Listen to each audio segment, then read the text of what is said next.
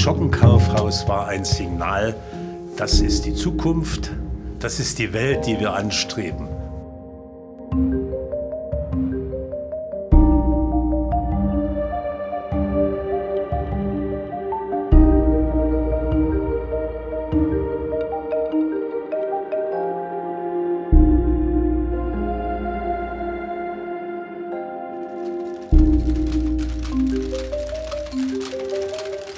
שוקן ראה את עצמו ממלא תפקיד בתהליך הלידה מחדש של התרבות היהודית.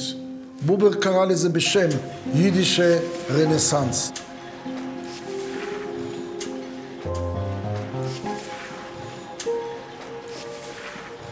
אני לא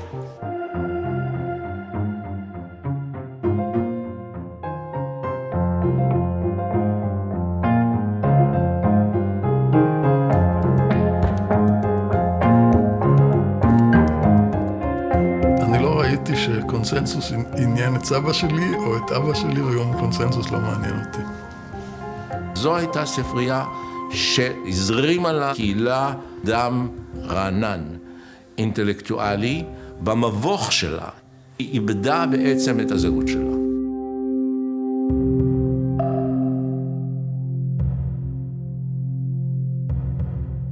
אחרי שהוא עזב את גרמניה, הוא הפך להיות היהודי הנודד הקלאסי.